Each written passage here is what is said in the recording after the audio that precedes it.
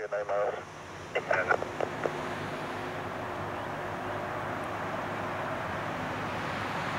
The 458 is the runway, turn right, the takeoff, test wind is two.